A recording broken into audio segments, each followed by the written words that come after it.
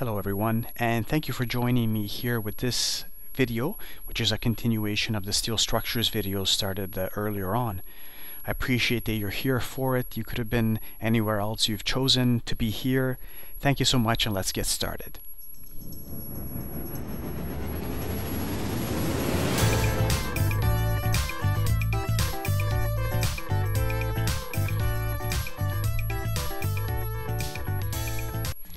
Great. Um, so what we're chatting about today is uh, steel connections. And if you remember from the analogy that we had previously about what the structure is in a building, uh, which is basically the muscle, the bones, and the tendons of that building, connections refer to the tendons. That is, they connect, they glue together the muscles and bones, or I guess the steel structural elements, to ensure they work together okay? You can find more about this also in chapter 19 of our textbook. Connections are simple in concept, right? They just attach two structural steel elements, but they're difficult to properly design and execute. So it's not surprising, I guess, that uh, it's common that the source of many structural failures is at the location of the connections. I'm showing you here the two different type of steel connections we'll go over. On the left hand side you can see an example of a well uh, bolted connection taken from our very own ACE building. On the right hand side you can see an example of a welded connection okay and the idea behind a bolted connection is that you're basically using a bolt like the one you see on screen to fasten two pieces of steel together okay? And the way it usually works is actually you have two pieces of steel you put a plate at the end of it you overlap the plates and then you pass a bolt between the two or multiple bolts between the two okay? With welding it's actually different. You use uh, heat chemicals or electricity or other forms to basically fuse two pieces of metal together steel together or to fuse a glue between them okay uh, there's a third type, which I'm just bringing up in the interest of historical relevance, and that's rivets. Rivets are no longer in use, really, when it comes to uh, steel construction, connections in steel construction, but they were used quite a bit. Rivets are really cool because they come out hot and moldable, okay? Uh, but we're not going to cover them. However, I'm going to link for you below an interesting, simple, awesome rocking video that will show you how rivets are done. Okay? Now, bolts. Let's talk about that for a second. Uh, bolts come in different forms. You have the common bolts, and they're labeled as A307. They're common not because you find them often, but because there's nothing special, structurally speaking, strength-wise, to them. Okay? They're not used as often, or at least they shouldn't be for proper structural connections. More appropriate, more appropriate bolts are the high strength bolts.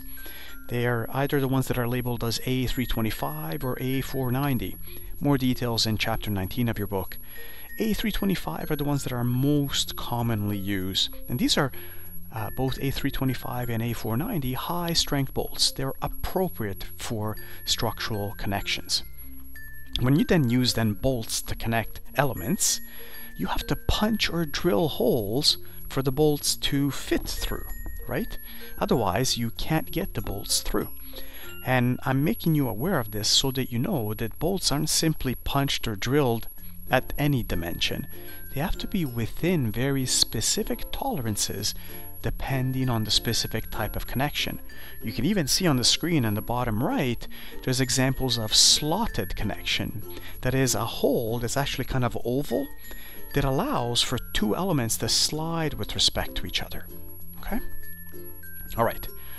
How do you fasten bolts? There are two main ways, and that's two different ways of designing the engineering aspect of bolt connection. The first one is snug fit, and that's basically where you take a wrench and you fasten the bolts, okay? And you do that until they're all tightened.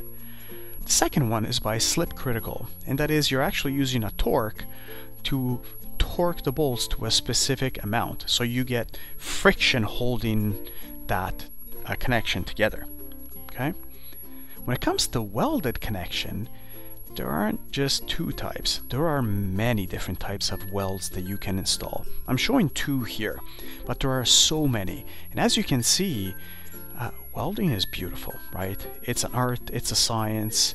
Um, so welding can happen with a whole bunch of different ways and this course and this video is not about welding. Uh, there's not enough time to talk about the different kinds of welds that you can set up and you're not meant to become experts at that. But just to give an understanding, there are programs, apprenticeship programs, that are just about welding because there's so much to know about welding and how to do it properly. Okay, so what I'm going to do instead is I'm going to provide you with a link at the bottom of an interesting quick video. I think it's beneath, below uh, five minutes. Uh, about an introductory explanation about how welding works. Okay, but it's basically taking two steel pieces together and gluing them together. Okay, all right. The other thing that I want to talk about when it comes to welds, excuse me, is this. This is how welds are shown on drawings. Okay, so you can see there is a 45 degree arrow that points at the location of the weld. That's always at 45 degrees. Well, typically, right? But never say never. And then there's a horizontal portion of that label where you actually write uh, about the weld and you put a descriptive symbol of the weld. I'm making you aware of this, right? Because there is a whole bunch of different kinds of welds that you can have.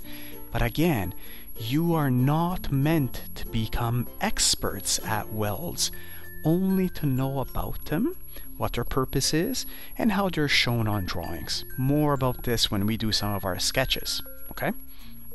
All right, let's look at welds versus bolts connections, advantages of one over the other. Let's start with welding connections and some of the advantages of having welded connections versus bolted connections. There's a much larger range of application. That is, you can weld two elements together that cannot be bolted together. This, for example, happens when you're trying to connect, say, a beam to an HSS column. Okay, more on this when we talk about bolts. Uh, the other thing too is when you put welds, you basically don't have to use bolts and gusset plates, right? If you're bolting two elements together, you can't just overlap them and bolt them. You have to take those two elements, put a plate at the end of them, and then you overlap the plates, and these get bolted, okay? That doesn't happen with welds. With welds, you can simply take two elements and weld them together. Uh, the other thing too is that welds, if done properly, when done properly, typically transfer forces in those two connected elements better than bolting. Okay? Some of the limitations. Welds are beautiful and take lots of skill to do. Okay? So you need somebody with a lot more uh, practice and experience to do weld properly. So that also means that welds work better when they're done under controlled conditions, like indoors in a shop. They don't work as well when you're working outdoors or under bad weather conditions, like, say, winter in Ottawa.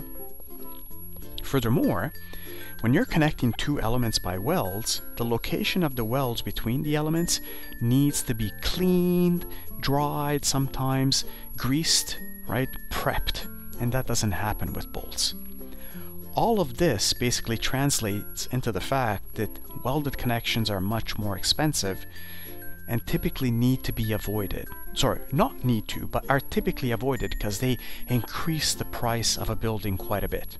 They can't be avoided 100%, but you usually tend to go with bolted connections versus welded connection given the choice, right? Okay, bolted connections. Let's look at some of the advantages of bolted connections. They're fast. You don't need a skilled laborer to do it, right? You don't need the training. You don't have to prepare the surface where you're bolting connections, you're bolting elements together. And it works fine under many, many uh, conditions, site conditions. Raining, snowing, uh, hailing, right? Which doesn't work well for welds. But in terms of limitations, what's the deal with bolts or bolted connections? Well, your plates, the holes in those plates of the members that need to be fastened together, they have to be properly designed and built and assembled off-site, right? The plates that you need to put at the end of members that are then bolted together. Furthermore, certain elements cannot be bolted together. And by that I mean HSS, right? HSS are hollow inside and you can't bolt into them because you can't reach inside an HSS to then fasten the end of that bolt. Okay? Okay, according to the American Institute of Steel Construction, AISC, column beam connections can be classified under the following three categories. You have simple connections, rigid connections, and semi-rigid connections. Simple connections are also known as type 2 connections, and they're there to transfer shear. That is the typical, the kind of vertical force that's trying to shear off a beam from a column. The same shear that allows you to rip a piece of paper when you move it vertically one side from the other. Rigid connections, also known as type 1 connections, are there to transfer moments between a beam and a column. Moments are those forces in a beam that try to get that beam to smile or frown. So to be fair, it's not a it's not a force, right? By definition, a moment is not a force. It's that action on a beam that tries to bend it, right? It tries to get the end of the beam to bend, to rotate. Okay, that's why a smile or a frown. And if the connection is rigid, then that rotation happens with the column as well. It's transferred to the column. Finally, we have type 3 connections, so-called semi-rigid. And these are connections that uh, recognize that you can't really just have a simple connection or a rigid connection, and that all connections actually are somewhere in between, between rigid and simple. Excuse me. The um, semi-rigid connections are a bit more difficult to design properly, but they're gaining more traction. Uh, but in practice though, most connections, when they're designed for steel construction, they're either considered simple or rigid. It makes it a bit more convenient to design and then build. So just a reminder then of shear and bending, okay? When you get shear and bending, when you have a force applied on a beam, the impact on the beam that tries to get that beam to resist rotation, so smiling and bending, uh, smiling and frowning, is bending. Shear is then the impact on the beam that tries to get the beam to rip apart. Okay? Alright. So let's look at some type of beam to column connection. Let's start with type 2 connections, which are shear connections. Here you have an example of a beam and a column connected to each other. It's a bolted connection as you can see. The angle that you see right here is used to fasten the column to the beam. The angle has been welded to the beam and then it's been bolted to the column. And typically, when you have a beam whose web is connected to a column, you know that that's a shear connection, a type 2 connection. Here are some other examples of type 2 connections, okay, where the web is connected to the column, the web of the beam. Except for this one here.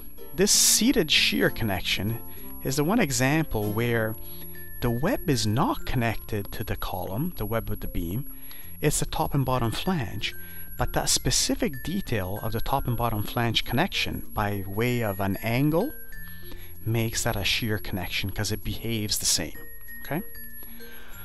And again, typically when you have the web of a beam connected to a column, only the web of a beam, that's a shear connection, a type 2 connection. Here you have a connection between two beams, or two beam type elements. You have a girder and a beam framed into it. Again, you can see that the web of that beam is fastened to the girder. That makes it a type 2 connection because the web transfers shear in beams. Here's an example of a beam fastened into a main girder. And I bring this up because it's a continuation of the one we just saw, uh, but I also want to point out the coping. You see this cutting out of the beams where it connects to the girder, it's done so that you can connect directly to the web and the top is all one level so you can put a floor on top of that. Okay? Uh, so again, that's called a coped end, or the coping at the end of a beam. You cut out. Okay? Um, here's a type 1 type of connection. That is a rigid connection between a beam and a column. It looks very similar to a type 2, but here's the main difference. Not only is the web of the beam connected to the column, also the flanges are. So look at this. The web here is fastened between the beam and the column, but also the flanges at the top and bottom have been connected to the column. That's the main difference. That way, now that end of that beam is clamped to the column. It cannot freely rotate, right? Whereas before it could have. So here's an example where I put a rigid connection, okay? Hopefully this kind of brings it into place. Notice how the flange of that beam has been bolted to the column. Uh, sorry, the web of that beam has been bolted into the column, and then the top and bottom flanges are then welded to the column, so that that end of that column is clamped on to that. Uh, the end of that beam is clamped onto that column and it can't rotate. Okay, that's a full rigid connection.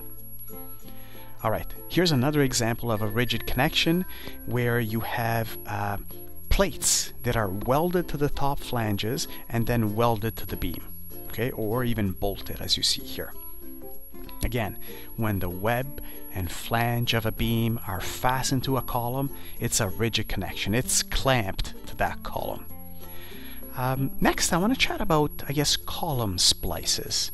So that is, you attach a piece of a column to another piece of a column. You have to use these because when you're building tall steel structures, and by this I mean two or more stories, well, you have to recognize that those column members, they're not infinite in length. They only come in such lengths that you can transport, right? So when you put them up, in order to get a multi-story building, you have to put them on top of each other, right? And that means you have to fasten them properly by way of splices. So in this case, you can see examples of different kinds of splices. Typically, the length of each solid piece of steel column is about two stories, maybe a little more than two stories. Okay? Uh, you don't want it more than that because you cannot make it properly into good quality and it's very hard to transport economically. So here's an example of a column splice in our very own ACE building. You can see two W sections that have been put close together, right? And then the webs and the beam and the flanges of those sections have been bolted together. Here's another example where there are two W sections of different sizes that have been fastened together by way of plates at their ends the plates have been welded to the ends as caps of those W sections, and then the plates have been fastened. Okay? Alright. Now, the other item that I'm going to discuss in a separate video is going to be erection of steel structures and stability of steel structures, and then a separate video also about our assignment number one. Again, I want to thank you so much for your time. I appreciate that you were here for it. And stay tuned. I'm going to link the other videos at the bottom. Thank you so much.